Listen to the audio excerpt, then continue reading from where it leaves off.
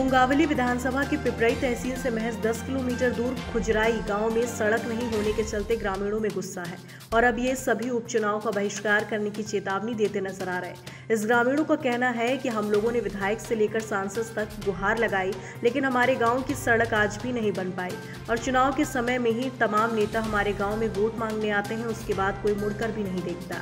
इसलिए गुस्साए इन लोगों ने गाँव में बैनर पोस्टर तक लगवा दिए।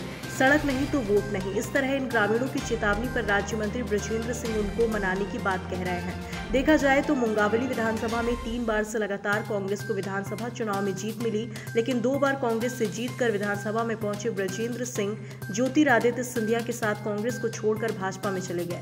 अब भाजपा के संभावित प्रत्याशी भी हैं, इन गाँव की खस्ताहाल स्थिति के लिए कांग्रेस को दोषी ठहरा रहे हैं और कह रहे हैं कि दो बार में जो ना कर सके वो डेढ़ महीने में कर दिए और करोड़ों के विकास कार्य डेढ़ महीने में करा दिए और आचार संहिता समाप्त होते ही इन गाँव की भी समस्या का समाधान कराया जाए।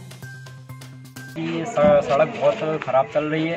और इस बार युवा, पूरे जोश में, युवा के साथ, ये बुज़ुर्ग के साथ में, इस बार हमने पूरा संघर्ष किया और यही मन में ठानी है कि रोड नहीं तो वोट नहीं वो उनके, ने जो बहिष्कार का विरोध किया है, हम हमारे जिलाध्यक्ष जी है और हम लोग हैं और हमारा कांग्रेस प्रत्याशी हम जाएँगे, उन गाँव वालों को आश्वासन देंगे, आगामी समय में उनको पक्का भरोसा देंगे कि अगर हमारे कांग्रेस प्रत्याशी को जिताएँगे तो हम उनके जो ग्रामीणों की जो समस्या उसको पूर्ण करेंगे। और अभी तो उन्होंने मात्र वर्तमान तत्कालीन जो विधायक है एजेंसी उसके विरोध में उन्होंने बोला है।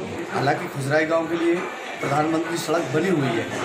वो चाहते हैं कि खुजराई से मारो, मृत्यु मनावनी सड़क बन जाए, जो उनको शॉर्ट में अशोकनगर के लिए जुड़ जाए। तो मांग, ठीक है, उनकी जायज़ है। और क्योंकि मैंने भी उनसे चुनाव में गया था, मैंने वादा भी किया था उनसे।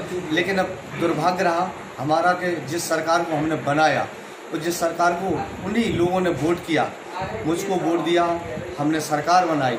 लेकिन पंद्रह महीने में उनकी एक छोटी सी मांग में पूरी नहीं कर पाए मुंगावली से इकबाल जमींदार की रिपोर्ट।